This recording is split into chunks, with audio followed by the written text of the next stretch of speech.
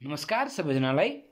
आज हामी bachelor in civil इन्जिनियरिङको पूर्वाञ्चल युनिभर्सिटीको सिलेबस अनुसारको आज हामी स्ट्रेन्थ अफ मटेरियल भन्ने विषय जुन हामीले पूर्वाञ्चल युनिभर्सिटीको थर्ड सेममा पढ्नुपर्छ हो त्यही विषयको युनिट सिक्समा रहेको थ्योरी अफ फ्लेक्चर भन्ने एउटा टपिकमा आज हामी पूर्वाञ्चल युनिभर्सिटीमै सोधेको दुई हजार अठारको क्वेसन नम्बर सिक्सको बिमा सोधेको प्रश्न जुनलाई हामीले चाहिँ आज टाइप्स फो भनेर नाम दिएका छौँ।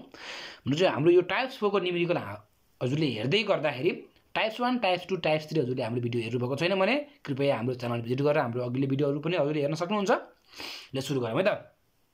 ल अब क्वेसनले के भनेको यो अलिक फरक किसिमको निम्रिकल है त। हल्का फरक छ। अब क्वेसनले के भनेको छ भन्दाखेरि अ क्यान्टिलिभर आइबिम आइबिम छ। अ फ्ल्यान्स अब फ्ल्यान्स भनेको के हो? वेब भनेको के हो? यति कन्सेप्ट बुझ्नुहुन्न भनेर हिसाब गर्न सक्नुहुन्न हजुरले। फ्ल्यान्स भनेको टप पोर्सनलाई हामीले फ्ल्यान्स भन्छौँ भने यो बिचको पोर्सनलाई हामीले के भन्छौँ? वेब भन्छौँ। है त? माथिको टप पोर्सनलाई हामीले फ्ल्यान्स भन्छौँ भने बिचको पोर्सन हामीले के भन्छौँ? वेब भन्छौँ।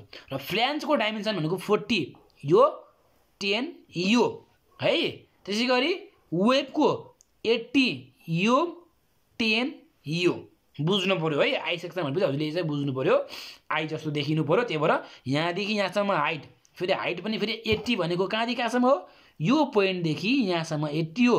फेरि यहाँदेखि यहाँ होइन नि फेरि। यो त हाम्रो के हो? यो त हाम्रो वेब हो। यहाँदेखि यो यो यो वेब हो। यहाँदेखि यो यो यो हाम्रो फ्ल्यान्स हो।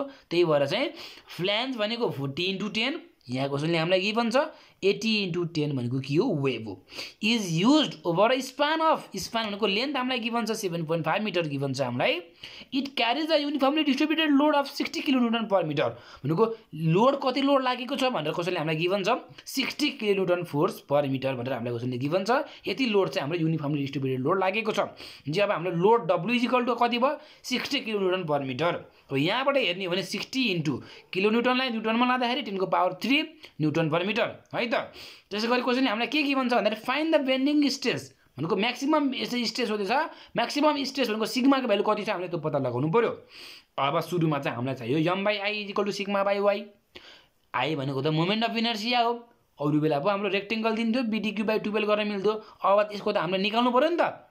मोमेन्ट अफ इनर्सिया निकाल्नु परेन हो निकाल्नु पऱ्यो अब हामीले यसको मोमेन्ट अफ इनर्सिया निकाल्नुको लागि in order to locate the position of neutral axis neutral एक्सिसको position locate गर्नको लागि हाम्रो के छ फर्मुला भनेर सुनाएको Y bar is equal to A one Y one plus A two Y two plus A three Y three divide by A one plus A two plus A three A one भनेको तलको area भनेको यहाँदेखि यहाँ चालिस यहाँदेखि यहाँसम्म दस।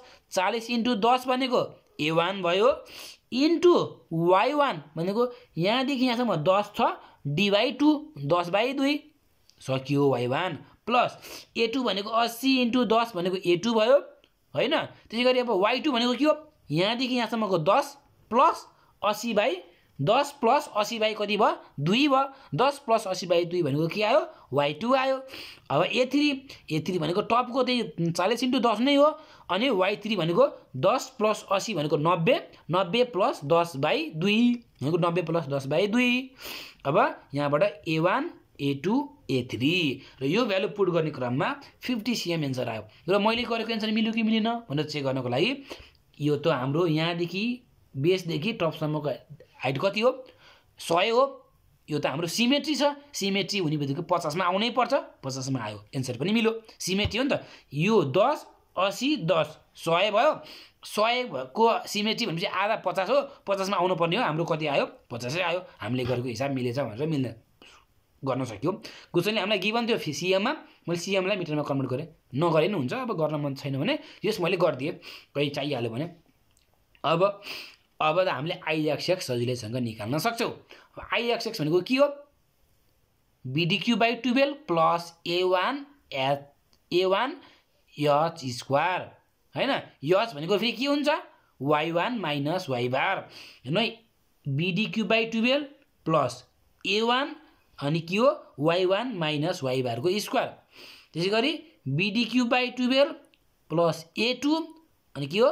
Why two minus Y बारको स्क्वायर त्यसै गरी BD cube by twelve plus A three अनि इन्टु भनेको वाइ थ्री माइनस वाइ बारको स्क्वायर यहाँबाट भ्यालु कति आयो? यति आयो। केमा आयो? सिएममा आयो। सिएमलाई फेरि के गर्नु पऱ्यो इन्टु टेनको पावर कतिले मल्टिप्लाई गर्नु? के अरे? डिभाइड गर्नु पऱ्यो मिटरको पावर फोरमा लानको लागि भनेपछि दुईवटा जिरो भने दुईवटा जिरो भनेपछि दुईवटा दुईवटा जिरोको पावरको एट भनेको टेनको पावर एटले हो प्रोभाबली जी अँ टेनको पावर एटले हो टेनको पावर एटले डिभाइड गरिसकेपछि बल्ल यो केमा जान्छ मिटरको पावर फोरमा जान्छ भनेपछि आइएक्सएक्सको भ्यालु हाम्रो आयो होइन? अब आइएक्सएक्सको भ्यालु त हाम्रो आइसक्यो। अब हामीलाई के चाहियो? न्युट्रल एक्सिस भनेको के हो? डेप्थ अफ न्युट्रल एक्सिस भनेको वाइ हो। वाइ भनेको सेजीदेखि टपसम्मको डिस्टेन्स सिजी भनेको बिचमा हो यहाँदेखि माथिसम्मको डिस्टेन्स भनेको कति हो? पचास हो। अब M by I equal to sigma by Y M भनेको के हो? इ क्यान्टिलिभर बिममा युनिफर्मली डिस्ट्रिब्युटेड लोड लागेको छ। भने मोमेन्ट अफ बेन्डिङ मोमेन्ट यम भनेको के हुन्छ? डब्लुएल स्क्वायर बाई कति हुन्छ? टु अब हामीलाई के थाहा छ? M by I is equal sigma by Y थाहा छ। बेन्डिङ मोमेन्ट यम भनेको डब्लुएल स्क्वायर बाई टू हो। होइन? क्यान्टिलिभर बिममा युडिएल लागेको छ। क्यान्टिलिभर बिममा पोइन्ट लोड लागेको भए डब्लु इन्टु यल हुन्थ्यो। है त? I sigma by Y W हामीलाई गिभन छ क्वेसनले? होइन? पोइन्ट लोड भनेर हामीलाई साठी किलो न्युटनमा गिभन छ होला कता है? यी साठी इन्टु टेनको पावर थ्री गरेर केमा गयो? न्युटनमा गयो। इन्टु यल सेभेन पोइन्ट फाइभको स्क्वायर किनकि हामीले सबै युनिटलाई मिटरमा लगिसकेका छौँ। त्यही भएर सेभेन पोइन्ट फाइभको स्क्वायर डिभाइड बाई टू जस्ताको जस्तै आई आई त हामीले अघि निकालिसकेका छौँ moment of inertia is equal to sigma by Y Y भनेको डेप्थ अफ न्युट्रल एक्सिस जुन हाम्रो फिफ्टी सिएम थियो मिटरमा लाँदाखेरि कति भयो? Zero point five metre. यहाँबाट यहाँबाट सल्भ गर्दाखेरि हाम्रो भ्यालु केमा आउँछ? भन्दाखेरि हजुरको धेरै ठुलो भ्यालु आउँछ। धेरै ठुलो। यहाँबाट सल्भ गर्दाखेरि भ्यालु ठुलो धेरै ठुलो आउँछ। त्यसलाई मैले हजारले डिभाइड गरेर किलो न्युटन पर मिटर स्क्वायरमा लगेँ। बुझ्नुभयो? त्यसलाई मैले हजारले भाग गरेँ अनि हजारले भाग गरेपछि बल्ल के के आयो? किलो न्युटन पर मिटर स्क्वायरमा आयो। नभए यो भ्यालु आउँदैन। हजुरले यसलाई सल्भ गर्दाखेरि यो भ्यालु आउँदैन। योभन्दा ठुलो भ्यालु आउँछ। अनि त्यसलाई बल्ल डिभाइड बाई थाउजन्ड गरेपछि बल्ल सिग्नलको value kilo newton per metre स्क्वायरमा मैले ल्याएँ है त? आजको लागि हाम्रो कन्टेन्ट यति नै हो। भिडियो मनपर्छ भने भिडियोलाई लाइक गरिदिनु होला। सँगै पढ्ने साथीहरूलाई सेयर गरिदिनु होला र प्रशान्त वाइडी च्यानललाई सब्सक्राइब गर्नुभएको छैन भने कृपया च्यानललाई सब्सक्राइब गरी नजिकैको बेलायकन दबाउन नबिर्सिनु होला। हस् त धन्यवाद। Good bye take care